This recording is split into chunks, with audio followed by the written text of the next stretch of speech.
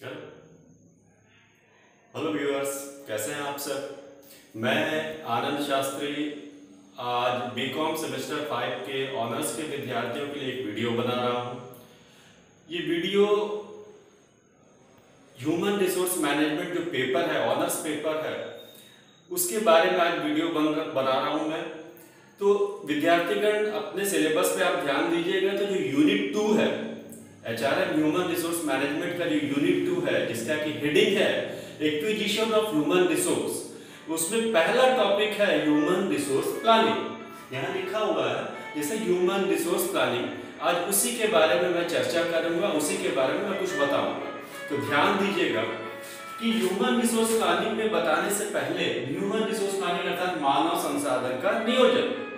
तो उसके लिए पहले बारे में कुछ बताऊँ। इसके पहले मेरा ये मानना है कि ये जो प्लानिंग शब्द है, इसके बारे में जानना बहुत ज़रूरी है कि ये प्लानिंग अर्थात नियोजन होता क्या है। इसके बारे में आपको सबको जानना बहुत ज़रूरी है। जैसा कि एक अंग्रेज़ी में एक स्टेटमेंट है, कथन है प्लानिंग के बारे में कि व्हाट इज़ प्लानिंग प्लानिंग क्या है? तो planning is today's decision of tomorrow's action अर्थात टूडेज डिसीज़न अर्थात आज लिया जाने वाला निर्णय। किसके बारे में? फॉर टुमारोज एक्शन आने वाले कल के लिए क्या काम करना है? उसके बारे में आज ही हम निर्णय ले रहे हैं। यही तो प्लानिंग है। क्योंकि जो बीत चुका है उसके बारे में क्या प्लानिंग करना? तो प्लानिंग हमेशा, नियोजन हमेशा हम भविष्य के लिए करते हैं, आने वाले समय के लिए करते हैं। तो ये स्टेटमेंट क्या कहता है? ये स्टेटमेंट कहता है कि प्लानिंग अर्थात नियोजन एक फ्यूचर ओरिएंटेड शब्द है। अर्थात प्लानिंग हमेशा भविष्य के लिए, आने वाले समय के लिए करते हैं। अब इस प्लानिंग का अर्थ समझने के बाद, अगर हम इस प्लानिंग को ह्यूमन रिसोर्स के साथ में जोड़ दें तो फिर क्या होगा? तो ह्यूमन रिसोर्स प्लानिंग का एक सीधा सपाट सा उत्तर, अर्थ निकल कर आता है कि प्लानिंग किसके लिए? ह्यूमन रिसोर्स के लिए। अर्थात मानव संसाधन के लिए हम प्लानिंग करते हैं। अर्थात भविष्य में मानव संसाधन की कितनी आवश्यकता पड़ेगी, किस तरह के कर्मचारियों की आवश्यकता पड़ेगी, कब कब पड़ेगी, किस पद के लिए कौन से व्यक्ति की आवश्यकता होगी, उनमें क्या योग्यता होनी चाहिए, इन सबों के बारे में विचार करने की, इन सबों के बारे में सोचने, विचारने की प्रक्रिया को ही हम लोग क्या समझ सकते हैं, कह सकते हैं ह्यूमन रिसोर्स प्लानिंग तो अब इसी प्रकार, अब मैं ह्यूमन रिसोर्स प्लानिंग के बारे में ह्यूमन रिसोर्स मैनेजमेंट के क्षेत्र में दो प्रमुख, दो बड़े विद्वानों की परिभाषा को मैं आपके सामने रखना चाहता हूँ। विद्यार्थी जरा ध्यान देंगे इस पर कि सबसे पहले जो पहली परिभाषा कोलमेन साहब ने दी है, उसके बारे में आपका ध्यान आकर्षित करना चाहूँगा यहाँ देखा जाएगा, यहाँ देखा जाए Coleman has defined human resource planning as the process of determining man power requirement and the means for meeting those requirements in order to carry out the integrated plan of the organization. ध्यान दीजिएगा, विद्यार्थीगण, ये Coleman साहब के द्वारा दी गई परिभाषा है। तो कोलमेन साहब ने ह्यूमन रिसोर्स प्लानिंग को क्या कहा है? एक प्रक्रिया कहा प्रोसेस प्रोसेस अर्थात प्रक्रिया। कैसी प्रक्रिया?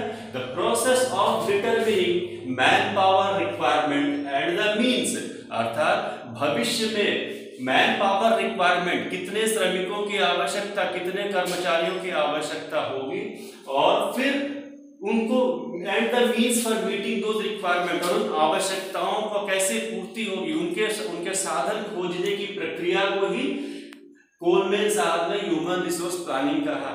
और ताकि कोई भी संगठन अपने एकीकृत इंटीग्रेटेड प्लान अर्थात एकीकृत योजना को भली भांति सुचारू रूप से आगे बढ़ा सके, चला सके। यही तो प्रक्रिया अर्थात कोलमेन साहब की ने क्या कहा? कोलमेन साहब ने ह्यूमन रिसोर्स प्लानिंग को एक प्रक्रिया कहा। कैसी प्रक्रिया का है कि भविष्य में कितने कर्मचारियों की आवश्यकता होगी और उन आवश्यकताओं की पूर्ति कैसे होगी? उन कर्मचारियों की आवश्यकताओं की पूर्ति कैसे होगी? वो क्या साधन होंगे? इन सबों को खोजने की, को सुनिश्चित करने की एक प्रक्रिया को ही उन्होंने ह्यूमन रिसोर्स प्लानिंग कहा है। अब मैं आगे बढ़ता हूँ और एक दूसरे प्रमुख विद्वान स्टोनर साहब ने क्या परिभाषित, कैसे परिभाषित किया इसके बारे में बताना चाहता हूँ। Stoner defined human resource planning as ये देखिए इन्वर्टेड कॉमा शुरू हो रहा है strategy for the acquisition utilization improvement and preservation of an enterprise human resources Stoner साहब ने ह्यूमन रिसोर्स प्लानिंग को एक स्ट्रैटेजी अर्थात रणनीति कहा है। और कैसे रणनीति? क्या चीज़ के लिए रणनीति? फॉर द एक्विजिशन अर्थात कर्मचारियों को हासिल करना यूटिलाइजेशन उनका समुचित सदुपयोग करना इंप्रूवमेंट उनमें सुधार करना and preservation of an enterprise human resources किसी संस्था के ह्यूमन रिसोर्स मानव संसाधन को हासिल करना, उनका समुचित सदुपयोग करना, उनमें सुधार करना, और फिर उन्हें संस्था में संरक्षित अर्थात बनाए रखने की रणनीति को ही ह्यूमन रिसोर्स प्लानिंग कहा है। तो इस तरह से विद्यार्थियों, इन दो प्रमुख विद्वानों की इन दो प्रमुख विद्वानों की परिभाषा पर जब हम नज़र डालते हैं, गौर फरमाते हैं तो हम अपने ढंग से ह्यूमन रिसोर्स प्लानिंग को परिभाषित कर सकते हैं।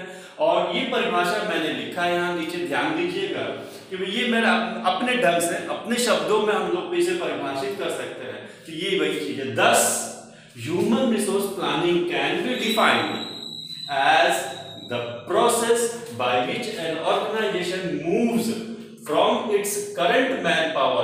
position to desired man power position अर्थात man power human resource planning को इस कैन बी डिफाइंड इस तरह से परिभाषित किया जा सकता कैसे? द प्रोसेस एक प्रक्रिया है बाय विच जिसके सहारे एन ऑर्गेनाइजेशन एक संगठन मूव्स फ्रॉम इट्स अपनी वर्तमान श्रमिकों की श्रम बल से, अपने वर्तमान श्रम बल से लक्षित डिजायर्ड अर्थात इच्छित या लक्षित श्रम बल की ओर बढ़ती है।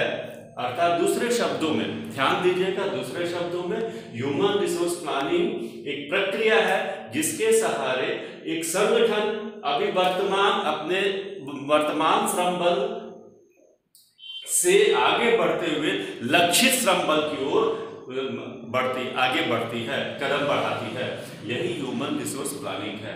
तो विद्यार्थियों, आज ह्यूमन रिसोर्स प्लानिंग है ये मैंने पूरी सरल शब्दों में समझाने की कोशिश की है। उम्मीद करता हूँ कि ये आपको समझ में आया होगा। तो ये पहला टॉपिक ह्यूमन रिसोर्स प्लानिंग का ये आज खत्म होता है। और आगे भी मैं इस तरह के मैं फिर आगे के जो टॉपिक है एच को लेकर के, आपके यूनिट टू को लेकर के मैं आगे की नेक्स्ट वीडियो में आगे के टॉपिक को पढ़ाऊँगा। धन्यवाद।